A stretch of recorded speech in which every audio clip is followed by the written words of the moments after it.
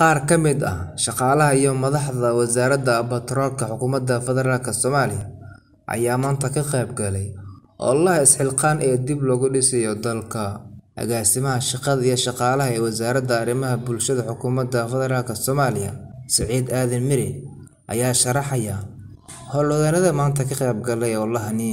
si aan dalkeenna innagu dib ugu dhisanno maadaama waxa weeye cidina nooma maqna eelna nooma qodna waxaan ka mahad celinaynaa wasaaradda macdanta iyo batroolka oo runtii si mug leh uga soo qayb gashay maanta oo uu hogaaminayo agaasimahooda guud.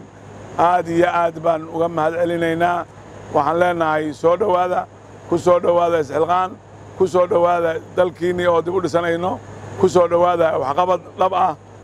Agaasimaha guud ee Wasaaradda Batroolka iyo Macdanta Xukuumadda Federaalk Soomaaliya, Maxamed Xaashi Cabdi Carabi, ayaa ugu mahad celiyay madaxdani shaqadan adag ee ay hayaan.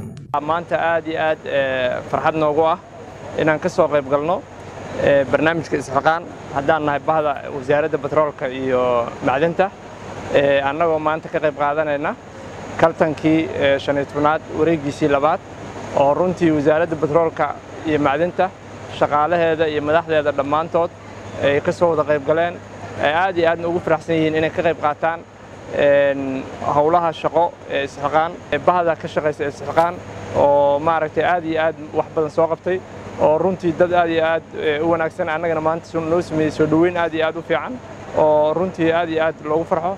Ayagana maaragtay waxaan leenahay shaqadiinna meeshaa ka sii wada.